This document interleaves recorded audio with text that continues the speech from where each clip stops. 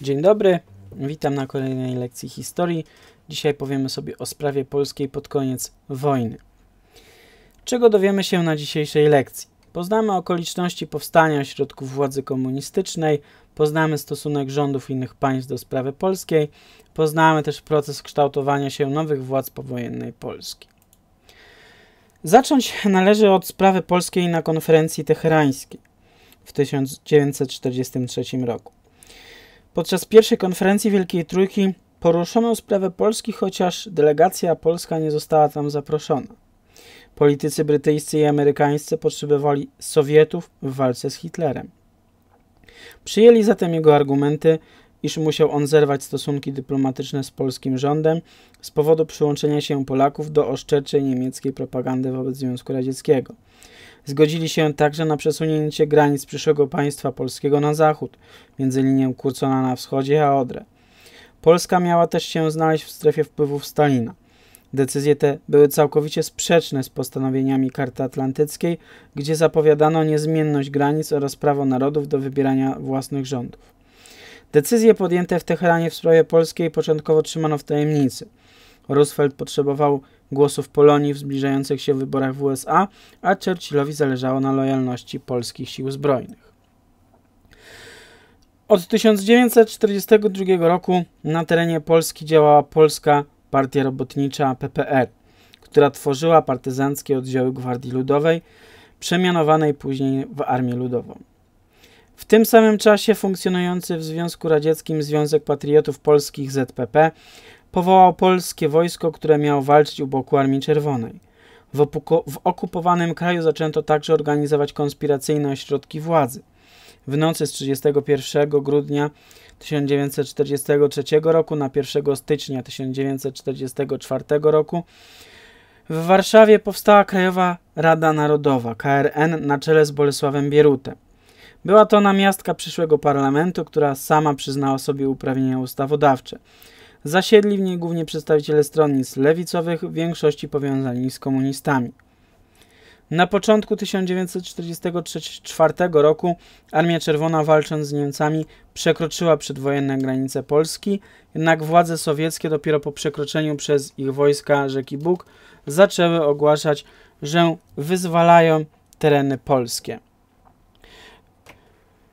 W tym samym e, czasie e, w Moskwie działacze Związku Patriotów Polskich oraz członkowie Krajowej Rady Narodowej utworzyli Polski Komitet Wyzwolenia Narodowego PKWN.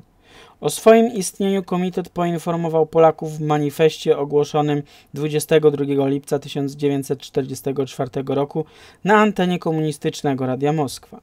Dla potrzeb propagandy polscy komuniści utrzymywali, że dokument upubliczniono w hełmie lubelskim. W manifestie PKWN ogłosił się jedynym legalnym rządem w Polsce. Formalnie skupiał się PKWN skupiał przedstawicieli różnych partii, a na jego czele stanął, stanął socjalista Edward Osóbka-Morawski, chociaż w rzeczywistości całą władzę sprawowali w nim komuniści. PKWN nie uznawał legalności polskiego rządu na uchodźstwie, a w tajnych porozumieniach ze Związkiem Radzieckim zaakceptował linię Kurcona jako wschodnią granicę Polski w zamian za zmiany terytorialne na zachodzie. O całkowitej podległości Moskwie świadczy również fakt, że PKWN zgodził się na oddanie Stalinowi najwyższej władzy na polskich terenach w okresie działań wojennych. Ze względów propagandowych PKWN nigdy nie, nie ogłaszał w żaden sposób, nie propagował też haseł komunistycznych. Siedzibą PKWN stał się Lublin, a tereny, którymi administra administrował, nazwano stąd Polską, Lub Polską Lubelską.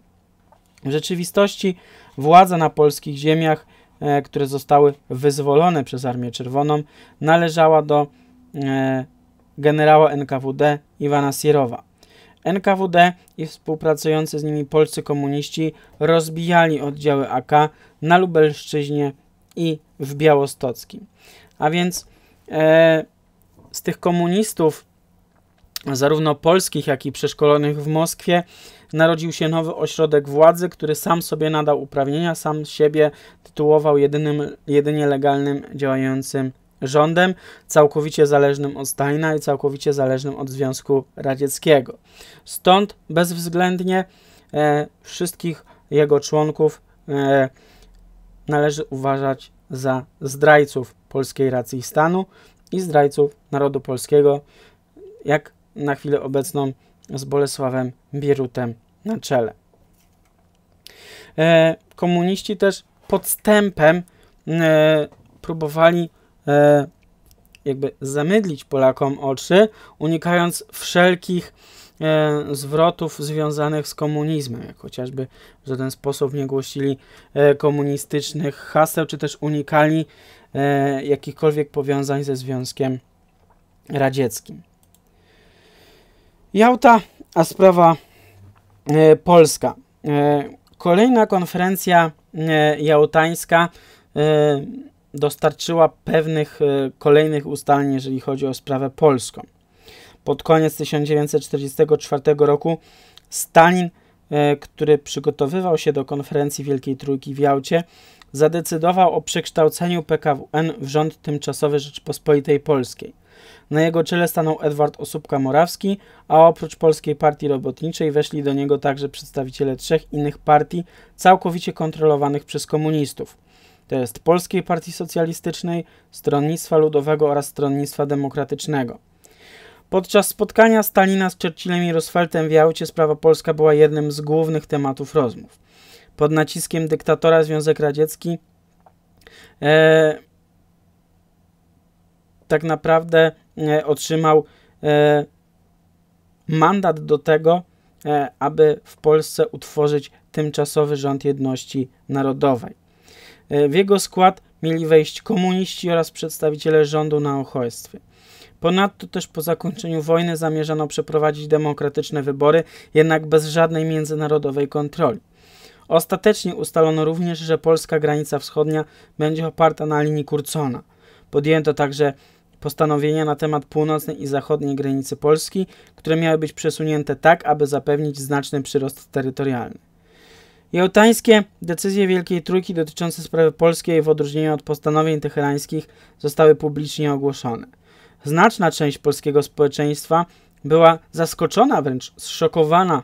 Oznaczały e, one bowiem koniec nadziei na niepodległe demokratyczne państwo, a rząd na uchodźstwie uznał te postanowienia za zdradę e, zachodnich e, aliantów. Styczniu 1945 roku rozpoczęła się wielka ofensywa Armii Czerwonej z Nadwisły. Po kilku tygodniach walki oddziały dotarły do Odry. W wyniku tych zmagań wszystkie ziemie polskie zostały opanowane przez wojska sowieckie. Formalnie władzę na tych obszarach przejęli polscy komuniści, którzy starali się stwarzać pozory demokracji, aby zyskać przychylność ludności chłopskiej, zdecydowali się na przeprowadzenie reformy rolnej. Przymusowo i nieodpłatnie przejmowali majątki ziemian zabrano im nie tylko ziemię, ale również domy. Wielomilionowe siły sowieckie skoncentrowane na terytorium Polski wraz z rozbudowanymi przez komunistów siłami bezpieczeństwa zaczęły skutecznie likwidować podziemie niepodległościowe. W tej sytuacji 19 stycznia 1945 roku komendant główny Armii Krajowej generał Leopold Okulicki uznając dalsze funkcjonowanie Armii Krajowej za bezzasadne, rozwiązał Armię Krajową. Decyzja ta miała na celu uchronić żołnierzy podziemia przed represjami ze strony nowych okupantów. Nie zaniechano jednak dalszej działalności. Część dawnego dowództwa Armii Krajowej podjęła działalność w ściśle zakonspirowanej organizacji Niepodległość Nie. Komendant Główny Armii Krajowej e, obawiał się, że Związek Radziecki rozpocznie wrogie działania przeciwko polskiemu państwu podziemnemu. Powołał więc do życia jeszcze w 1943 roku organizację Niepodległość Nie. Jej tworzeniem zajął się były dowódca KDW AK August Emil Fieldorf, pseudonim Nil. Żołnierze tworzący nie mieli nie brać udziału w akcji Burza i być głęboko zakonspirowani, także wobec innych struktur AK. Ich celem była kontynuacja działalności na rzecz niepodległości Polski w wypadku klęski planu Burza i przejęcia władzy przez komunistów.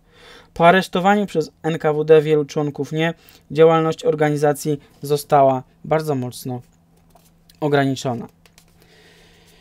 Pod naciskiem Brytyjczyków przywódcy polskiego państwa podziemnego zdecydowali się także podjąć próbę porozumienia z komunistycznym rządem tymczasowym i stojącym za nimi e, władzami sowieckimi. Generał Leopold Okulicki i delegat rządu RP na kraj Jan Stanisław Jankowski otrzymali listowne zaproszenie do rozmów z oficerami sowieckimi. Kiedy jednak udali się na spotkanie, pomimo gwarancji bezpieczeństwa, zostali aresztowani i wywiezieni do Moskwy. Tam trafili do więzienia NKWD na Łubiance. W sumie Sowieci aresztowali 16 osób. Stanęły one przed sądem sowieckim, sądem wojskowym e, w czerwcu 1945 roku. W pokazowym procesie, określanym jako proces 16, oskarżono ich o szpiegostwo, dywersję i działalność przeciwko interesom bezpieczeństwa ZSRR. Niektórzy, złamani śledztwem, ujawnili Sowietom struktury i działalność Armii Krajowej oraz nie. Spośród oskarżonych najwyższy wyrok 10 lat więzienia otrzymał generał Okulicki. Kilkuletni wyrok wydano także na delegata rządu na kraj, a w celu zachowania pozorów sprawiedliwości czy inne osoby w wyniku procesu zostały uniewinnione. Tak niskie wyroki były wyjątkowe w praktyce Związku Radzieckiego. Jednak wkrótce w tajemniczych okolicznościach zmarł zarówno generał Okulicki, jak i Stanisław Jankowski. Z kolei Kazimierz Purzak, przewodniczący Rady Jedności Narodowej, po odbyciu krótkiej kary w Związku Radzieckim zmarł w polskim więzieniu w Rawiczu w 1950 roku. Aresztowanie i proces 16 spowodowały rozbicie sił podziemia. Mocarstwa zachodnie na to bezprawie nie zareagowały, ponieważ uznały Polskę za strefę wpływów Związku Radzieckiego. W czerwcu 1945 roku, w tym samym miesiącu co proces 16, w Moskwie odbyły się obrady przedstawicieli mocarstw alianckich z udziałem reprezentantów rządu tymczasowego oraz grupy polskich niekomunistycznych polityków z emigracji oraz z kraju. Wśród nich był Stanisław Mikołajczyk, który będąc zwolennikiem nawiązania kompromisu z polskimi komunistami, w końcu 1944 roku złożył dymisję i przestał być premierem rządu na uchodźstwie. W czasie moskiewskich rozmów ustalono ostateczny skład tymczasowego rządu jedności narodowej. Premierem został Edward Osóbka-Morawski, a wicepremierami mianowano Władysława Gomułkę oraz Stanisława Mikołajczyka. W ciągu kilku e, w ciągu kilku najbliższych miesięcy e, tymczasowy rząd jedności narodowej został uznany przez większość państw świata, w tym Związek Radziecki, USA, Wielką Brytanię, co było równoznaczne z delegalizacją rządu polskiego na uchodźstwie. Polski rząd emigracyjny protestował, chociaż w takiej sytuacji politycznej nie miało to już większego znaczenia. Dziękuję za uwagę.